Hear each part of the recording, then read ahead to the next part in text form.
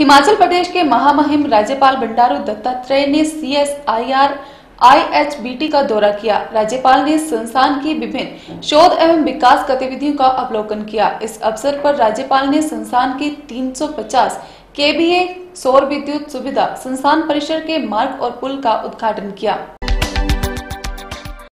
हिमाचल प्रदेश के महामहिम राज्यपाल Bandaru Dattatreya CSIR S I R I H P T का दौरा किया। राज्यपाल ने संस्थान की विभिन्न शोध एवं विकास गतिविधियों का अवलोकन किया। इस अवसर पर राज्यपाल ने संस्थान के 350 केवीए और शोर विद्युत सुविधा संस्थान परिसर के मार्ग और पुल का उद्घाटन किया। शोधार्थियों के लिए संस्थान में बनने वाले 120 कमरों के हॉस्टल के निर्माण का शिलान्यास भी किया। इसके निर्माण पर 30 करोड़ की लागत आएगी। इस अवसर पर राज्यपाल ने हिमाचल प्रदेश की विभिन्न ग्रामीण क्षेत्रों में स्थापित 21 तेल निष्कर्षण इकाइयों को प्रदेश के किसानों को समर्पित किया। संस्थान की शोध गतिविधियों की एक प्रदर्शनी का भी आयोजन किया गया, जिसमें राज्यपाल ने गहरी रुचि दिखाई। इस प्रदर्शनी में प्रदेश के विभिन्न क्षेत्रों से आए किसानों ने प्रतिभागिता की। इस अवसर पर राज्यपाल ने संस्थान द्वारा क्राइसेंथिम की पाँच किस्मों तथा गुलाब, आर्टिमिजिया, डेक्रोसी, फेलम, बेलेरियाना और मैरीगोल्ड की एक एक विकसित किस्मों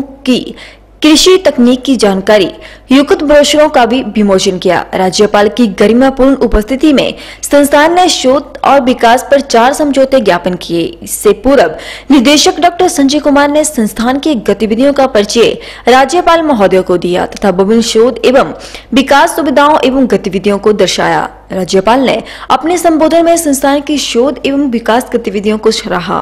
उन्होंने आशा प्रकट की कि संस्थान हिमालय की अपार जैव संपदा की क्षमता का लाभ उठाते हुए विकसित कृषि तकनीकों एवं विकसित उत्पादों से निश्चित तौर पर किसान एवं उद्यमी अवश्य लाभान्वित करेगा। उन्होंने संस्थान के वैज्ञानिकों से आह्वान किया कि वे अपने शोध से ऐसी प्रौद्योगिकी को विकसित करें जिससे जैव आर्थिकी को बढ़ावा मिले और राष्ट्र आत्मनिर्भरता की ओर अग्रसर हो और नए भारत का निर्माण हो सके। वैश्विक पर आने वाला समय भारत का होगा। शोध केवल प्रयोगशालाओं तक ही सीमित न रहे, अपितु इसे प्रशिक्ष इसे पर क्षेत्र में उतारा जाए। स्टार्टअप शुरू किए जाएँ तथा रोज़गार के अवसरों को बढ़ाया जाए। ज्ञान ही शक्ति है। उन्होंने व्यक्तिगत विकास के साथ साथ चरित्र निर्माण और नैतिकता अपनाने पर भी बल दिया।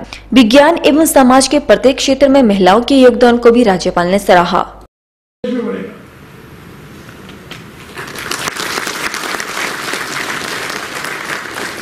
जैसे अभी हम डिजिटल इनोवेशन में देखा है। महिला कितने अच्छा बताएँगे महिला ने कहाँ भी काम कर सकते सारा देश का गेदी काम कर रहे हैं महिला। इसलिए महिलाओं को प्रोत्साहन करना और हमारा साइंस जो है, हमारा विज्ञान जो है, वो विज्ञान केवल लैबोरेटरी तक नहीं वो लैंड आना चाहिए वो ज़मीन आना चाहिए। ज़मीन से हमारे जाति को हमारे देश के जनता को किसान को ज़्यादा फ़ायदा होगा। तभी जो साइंटिस्ट का काम जो है सार्थक होगा। तब तक साइंटिस्ट का साइंटिस्ट का जो फल है of the science, if it comes to the field, then only it is going to be natural benefit for the country.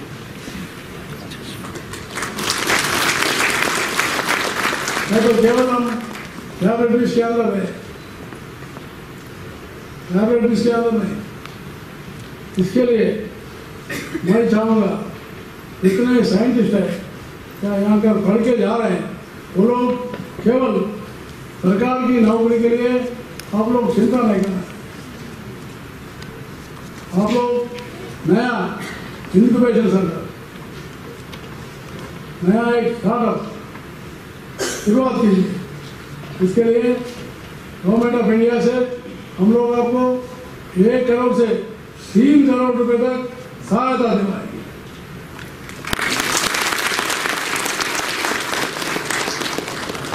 आप केवल जाकर किसी के पास नौकरी करूँगा, ऐसा हाथ जो है, आप लगाने के लिए ज़रूरत नहीं। लेकिन मैं चाहूँगा, देश के प्रधानमंत्री भी वही चाहते कि आप नौकरी लेने के बजाय दस लोगों को नौकरी लेने वाला होना चाहिए।